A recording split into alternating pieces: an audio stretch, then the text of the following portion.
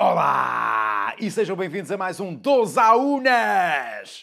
Bem, vamos já despachar o atropelamento que foi Bayern Porto. Realmente aquele jogo foi igual a um álbum dos Quinta do Bill. Mal demais para ser verdade. Felizmente para os jogadores do Porto, esta catástrofe entrou rapidamente no esquecimento. Eu compreendo. Eu também tenho tendência para bloquear acontecimentos catastróficos, como a carreira dos Quinta do Bill.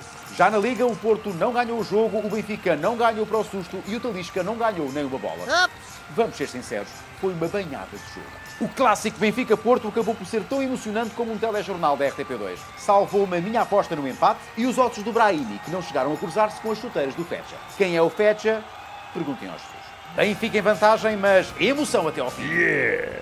Bem, vamos então aos prognósticos. O Benfica vai a Barcelos tentar a vantagem para o Porto. E eu vou apostar das duas uma. Ou o Benfica janta frango assado, ou os benfiquistas depenam o Jesus.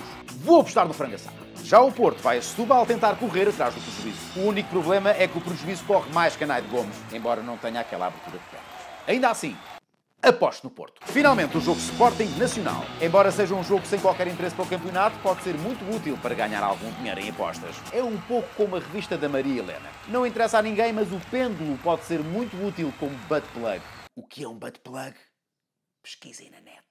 Vou apostar no Sporting. Bem, é quase tudo por hoje. Não se esqueçam de subscrever o meu canal, partilhar os meus vídeos e comentar tudo aquilo que eu disse.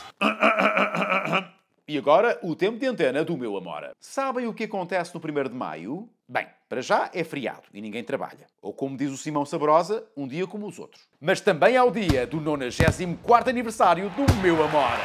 É verdade. E ao contrário de tudo que é sensato na vida, farei minhas as palavras de Jesus. É, mais que as minhas palavras é, que eu possa dizer em relação ao, ao, ao Presidente do Amora, está, tá, portanto, a dinâmica que ele tem criado de há dois anos para cá, portanto, o, foi o espaço sempre que eu tenho estado aqui no Amora e mais dentro dele, portanto, posso abordar. Viva o Amora e quem está dentro dele. Até para a semana e boas apostas.